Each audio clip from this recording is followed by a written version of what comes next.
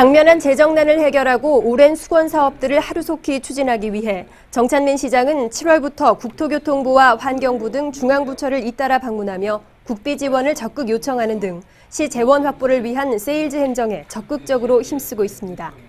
그 결과 주거 환경 개선과 도로 공사, 보행 환경 개선 등 주민 편의 사업을 중심으로 국도비 확보 성과가 잇따라 시정 추진에 활력이 생기고 있습니다. 주요 성과를 보면 국토교통부 주관 2015년 도시 활력 증진 지역 개발 사업 신규 사업으로 마평 1구역 주거 환경 개선 사업이 선정돼 2018년까지 국비 50억 원을 지원받게 됐고 아름다운 소하천 가꾸기 공모전 수상과 소하천 정비사업 정부평가 우수 사례 선정으로 얻은 20억 원의 국비 인센티브와 국토교통부의 2015년 지능형 교통체계 구축 공모사업에 선정돼 확보한 국비 20억 원,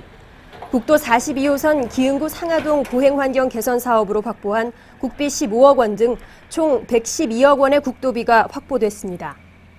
시는 이러한 결과가 지역 발전이라는 공동의 목표를 향해 용인시와 지역 국회의원, 시도 의원 등이 함께 얻은 성과인 것으로 평가하고 있으며 앞으로도 시 재정 건전성 강화에 최선을 다할 방침입니다.